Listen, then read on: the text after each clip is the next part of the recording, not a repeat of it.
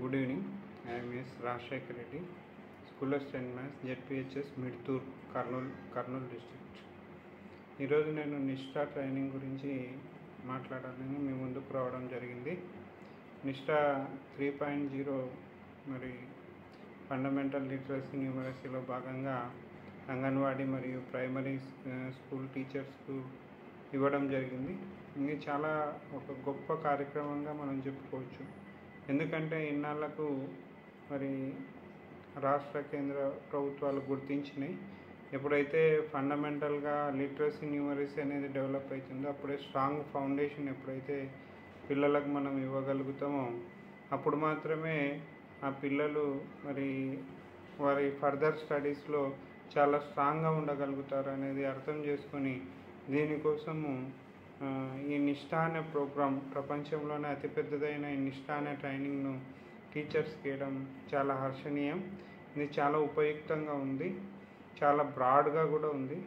కాకపోతే ఈ టీచర్స్ రకరకాల టీచర్స్ మనం ఉంటాం కాబట్టి ఇవి అందరూ అన్నీ త్వరగా అర్థం చేసుకోవాలని తక్కువ టైంలో అర్థం చేసుకోవాలని కొంచెం ఇబ్బంది పడడం కూడా జరిగింది.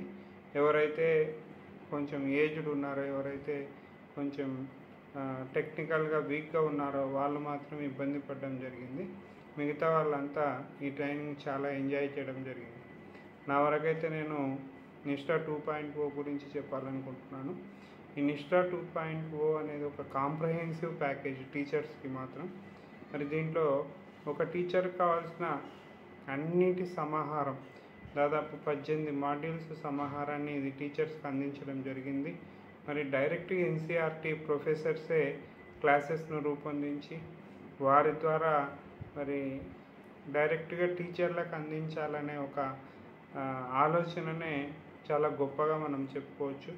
అది కాక ఈ స్కూల్లో ఇన్ని రకాలైన కార్యక్రమాలతో ఇన్ని రకాలైన అవసరాలు మరి ఒక పిల్లలకు ఉంటాయి ఈ అవసరాలన్నింటినీ తీర్చడానికి ఒక ఉపాధ్యాయుని ఏ విధంగా స్ట్రెంగ్తన్ చేయాలి ఏ విధంగా కెపాసిటీ బిల్డ్ చేయాలనే ఆలోచనతో ఈ కార్యక్రమంలో ఈ పద్దెనిమిది మాడ్యూల్స్ గురించి వివరించడం జరిగింది.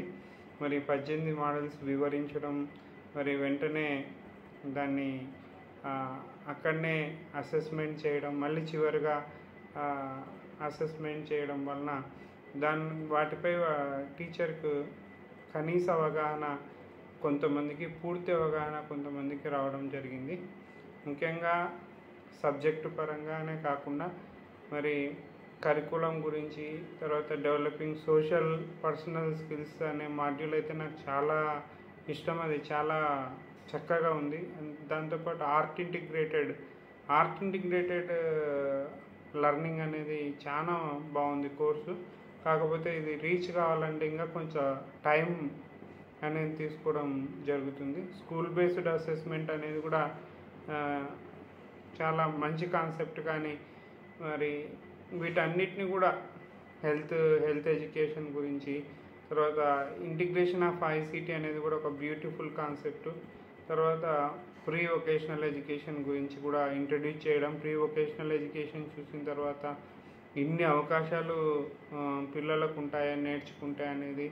తర్వాత ఈ చివరగా ఈ బాలల హక్కులను గురించి బాలల గురించిన చట్టాలను గురించి ఈ విధంగా ఒక కాంప్రహెన్సివ్ ప్యాకేజ్ ఈ నిష్ట అనేది ఒక కాంప్రహెన్సివ్ ప్యాకేజ్గా టీచర్స్కి ఇవ్వడం జరిగింది. మరి ఈ టీచర్స్కి ఇది ఉపయోగపడుతుంది వాళ్ళ పరిధిని పెంచుతుంది వాళ్ళ ఆలోచన శక్తిని పెంచుతుంది కెపాసిటీని ఖచ్చితంగా బిల్డ్ చేస్తుంది అనడంలో ఎటువంటి అతిశయోక్తి లేదు. కాకపోతే ఈ నిష్ఠాకు సంబంధించిన మాడ్యూల్స్ పాఠశాలకు ఒకటి చొప్పున ఫిజికల్ మాడ్యూల్స్ ఇస్తే మరి వాటిని మరింతగా ఉపయోగించుకోవడానికి వాటిని చదువుకొని మరి వెంటనే దాన్ని అమలు చేసుకోవడానికి ఉపాధ్యాయులకు ఉపయుక్తంగా ఉంటుంది. సో ఈ విధంగా ఫిజికల్ మాడ్యూల్స్ కూడా అంటే మాడ్యూల్స్ను కూడా కేవలం ఆన్లైన్లో కాకుండా మాడ్యూల్స్ను కూడా ఇస్తే బాగుంటుందని నా యొక్క వ్యక్తిగత అభిప్రాయం ఇటువంటి కాంప్రహెన్సివ్ ప్రోగ్రామ్ను నిర్వహించిన ప్రభుత్వాలకు మరొకసారి ఉపాధ్యాయుల తరఫున ధన్యవాదాలు తెలియజేసుకుంటూ ముగిస్తున్నాను. Thank you one